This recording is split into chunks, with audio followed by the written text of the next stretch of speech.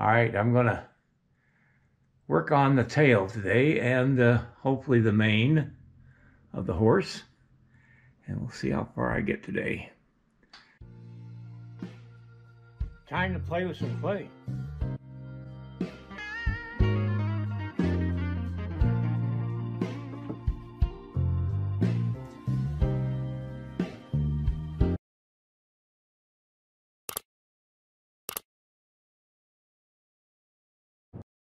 Well, first of all, I got to wait for my Super Sculpey, I guess it is, to uh, warm up, and uh, then I can make the tail out of that, and hopefully I'll have enough uh, Super Sculpey left for the mane of the horse, too. So it'll be a few minutes, and I'll be right back. All right, I've got the armature for the tail exposed, and I'm going to put the first clay on. This is just the uh, base clay for the uh, tail. And I'll build up on that.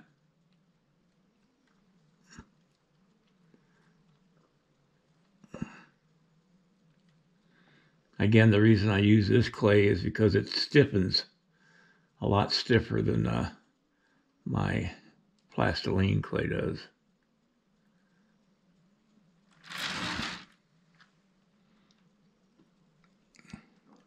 I'm starting to run out of it, so I'm going to have to order me another batch. Okay.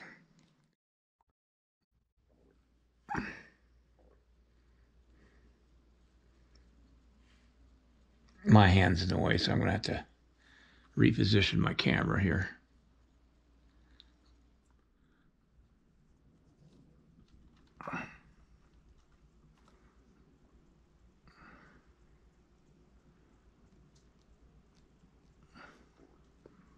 You don't want to make the tail too complicated because then it gets expensive to cast. So you try to make it as uncomplicated as you possibly can.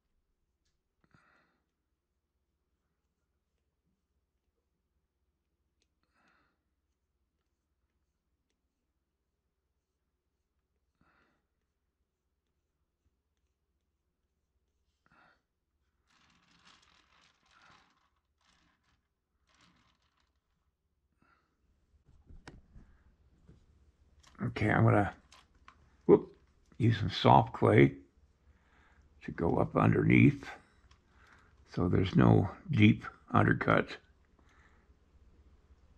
underneath the uh, tail.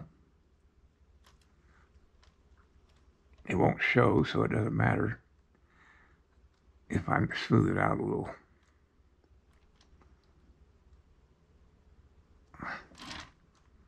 It just makes it easier to cast. There's a deep crevasse right here. and uh, I'm going to fill that in. Can't have that.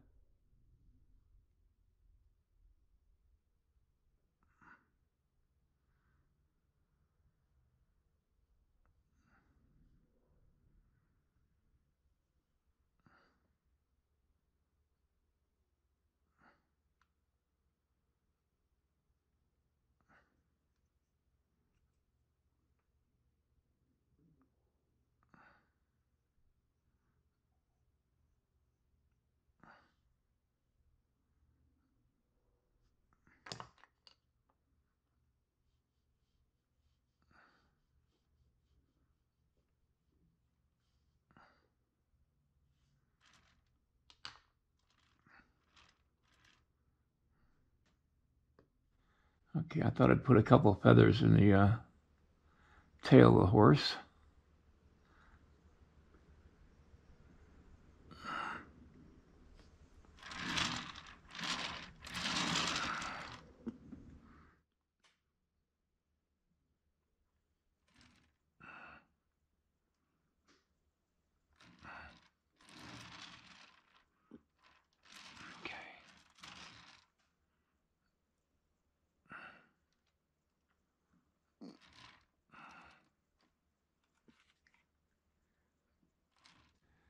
The tail is done to my satisfaction, so now I'm going to paint it to look like clay. And for those of you watching me for the first time, years ago I decided I came across a little hack to make my different materials that I use in my sculpting, like wax, dark wax, and and in this case, Super Sculpey, I came up with the idea of matching the color of the uh, main clay that I use, the uh, JMac medium plastiline clay. And uh, I thought, well, if I take a sample of that clay to the uh, to a paint shop they could match the color. And they did. And so now I take away any questions from people seeing the clay, asking, what is that material? It doesn't hurt the casting. It all comes out looking the same in bronze. This just takes away questions.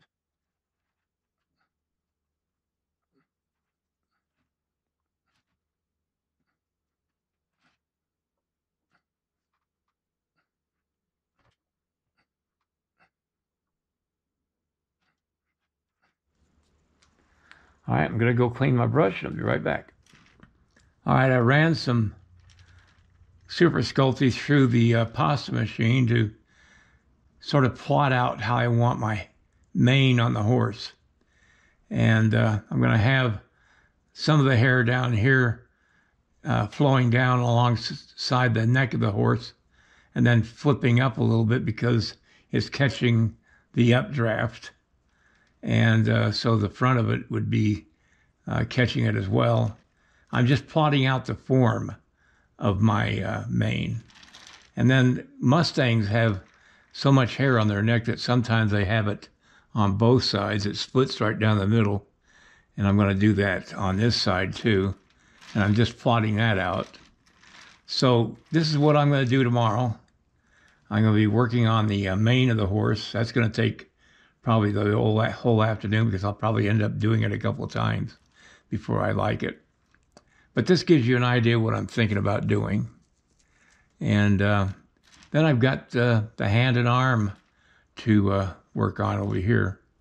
So I'm liking the way it's looking right now, and I think this will make both sides of the horse look dynamic uh, by doing uh, my mane in this way.